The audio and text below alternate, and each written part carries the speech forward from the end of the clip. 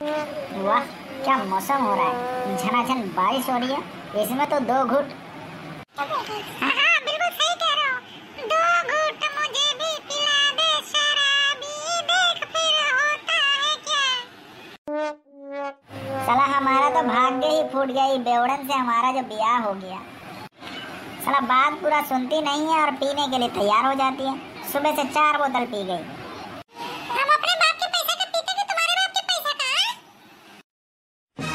देखो, बाप पे ना जाना, बाप पे। बता रहे तुमको हाँ। हाँ देखे तुम्हारे बाप को। बेवड़ा, पी के नाली में पड़ा रहता था। ये बोतल देख रही है, बोतल? सर पे फेंक के मार देंगे।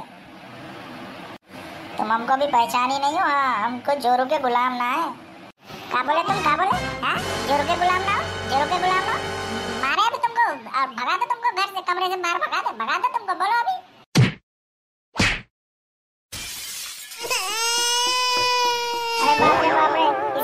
सांड की बच्ची तो पागल हो गई।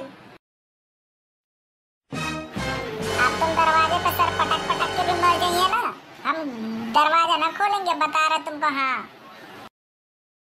अरे गुलवा की माँ, अरे खोल दो दरवाज़ा, खोल दो, हैं? बहुत रात हो गई, खोल दो दरवाज़ा। अरे भाभी भाभी दरवाज़ा खोल दो। अरे भैया इंतज़ार कर रहे हैं। अरे भैया भैया से गलती हो गई, माफ़ कर दो भैया को।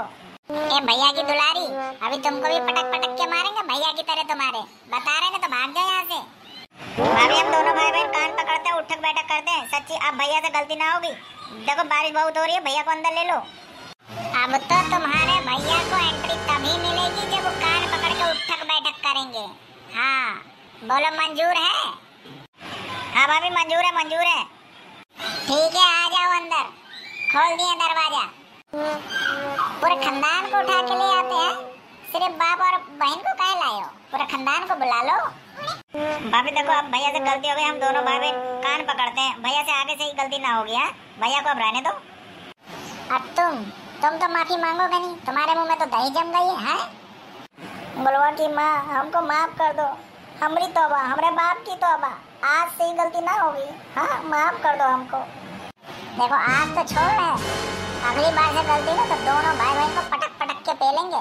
बता रहे सुधर जाना। भाभी सीधा करके रखते हैं। हमों की शादी होगी तो भाभी की तरह हम वो लाठ बजा के रखेंगे अपने मियाँ को। हाँ।